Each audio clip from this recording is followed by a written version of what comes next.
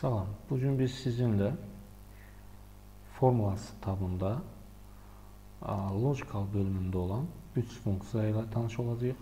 If, and və or funksiyaları ilə. Əvvəlcə if funksiyasından başlayaq. If funksiyası logical məntiq bölümünə daxil olan şərt funksiyalarından biridir əgər mənasını verir Azərbaycan dilində. Biz bu funksiyalı hər hansı bir şərti ifadə etməyə çalışacağıq hesab əməliyyatlarımızda. Onun üçün bir dənə burada funksiya qurmuşuq, çox sadə bir funksiya. Ona keçməzdən əvvəl əvvəlcə funksiyanın sehirbazı ilə tanış olaq. Burada baxsaq 3 dənə if funksiyası ilə bağlı bölümümüz var. Birinci logical test bölümündə biz funksiyanın ə, hesablamanın daha doğrusu şərtini qeyd eləyəcəyik. İkincidə şərt doğrudursa hansı nəticəni əldə eləyək, onu qeyd eləyəcəyik. Üçüncüdə şərt yanlışdırsa hansı nəticə əldə olunsun, onu qeyd etmiş olacağıq. Əvvəlcədən burada qurduğumuz ə, funksiyanı silirəm. Daha sonra ə, nəticəmiz if ə, funksiyası ilə bağlı olan hesabımız harada görsənəcəksə o xanada dayanıb logical bölümündən if çağırıram. Açılan bölümdə hmm, birinci logical testdə şərtimi qeyd edirəm. Şərtim necə idi? Bir daha xatırladıram. Əgər rəqəm xanasına daxil edilən rəqəm 1 isə onda rəqəm xanasını seçirəm. Bura qədər mənim şərtimdir. Rəqəm xanası bərabərdir 1 isə, bax, əgər rəqəm xanasına daxil edilən rəqəm 1 isə, burada bunu deyildim, B10 bərabərdir 1 isə. Əgər B10 bərabərdir 1 isə, onda nə etsin? Nəticəyə 1-dir yazsın. Doğru cavaba 1-dir yazıram. 1-dir. Yanlış cavaba nə yazsın? 1 deyil. 1 deyil. Okey. Hal-hazırda fikir verirsinizsə, nəticəyə 1 deyil yazır. Çünki burada rəqəm yoxdur. 0 kimi qəbul etsək, həmin boşluqda 1 deyil. Ona görə nəticəmiz 1 deyil olaraq görsənir. Bura 1 yazıb enter dediyim zaman 1-dir yazır.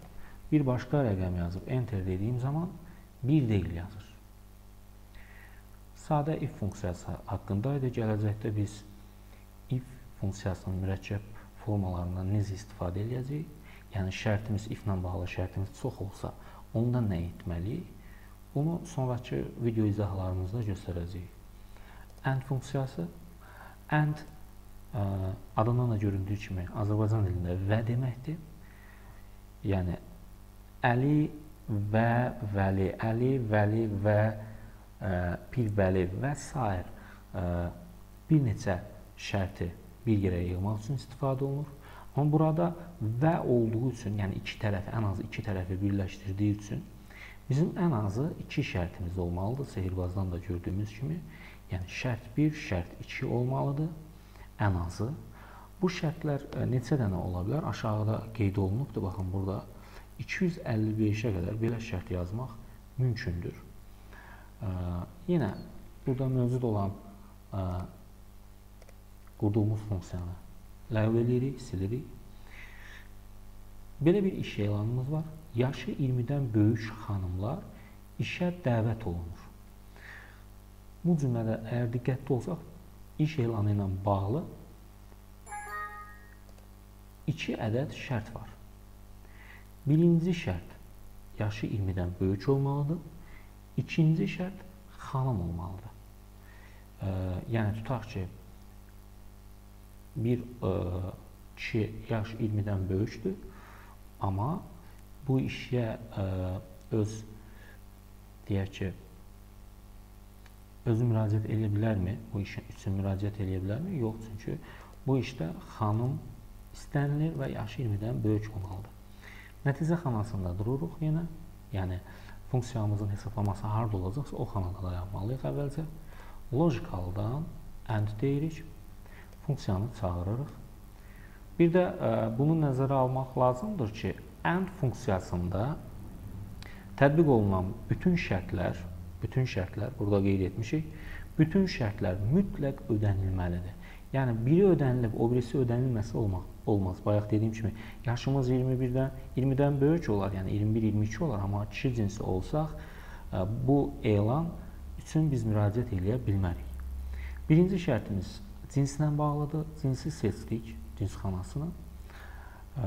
Bərabərdir dedik. Yadınızda saxlayın, bərabərdən sonra mütləq yazılan yazı dırnaq içərisində qeyd olunmalıdır.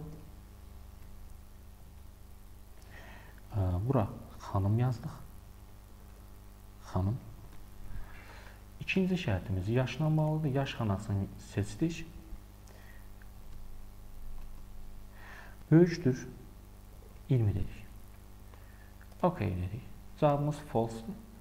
False yanlış deməkdir. Cins xanasına burada xanım yazıram, baxın. Xanım. Bağışlayın. Xanım. Yaş xanasına 19 yazıram. Gördüyünüz kimi nəticəm yenə false-dur, doğru deyil, düzgün deyil. Ona görə ki, yaşım burada göstərilən yaşa uyğun deyil. 21 yazdım. Onda nəticə true deyə cavablanmış oldu.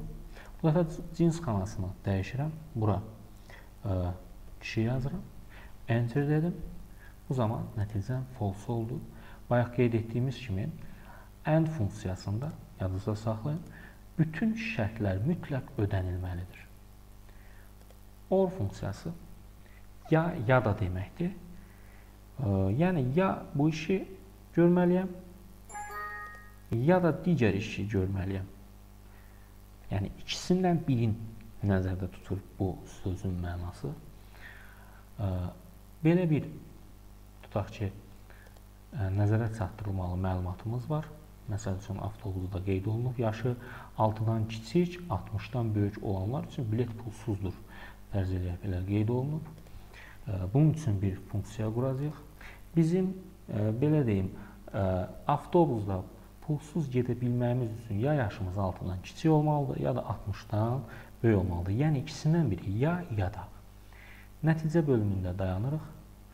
Funksiyanı çağırmamışdan qabaq OR funksiyasının servazı haqqında danışım. Yenə ən azı iki şərt var. Ya ya da olduğu üçün və 255-ə qədər şərt qeyd eləyə bilərəm. Burada hər ikisi yaşla bağlı olduğu üçün mənim cəmi bir bölümüm var, yaş bölümüm. Nəticədə durduqdan sonra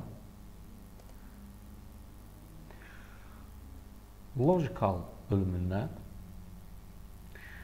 or funksiyasını çağırıram. Birinci şərtimi qeyd eləmək üçün yaş bölümünü seçirəm, yaş xanasını və bura ə,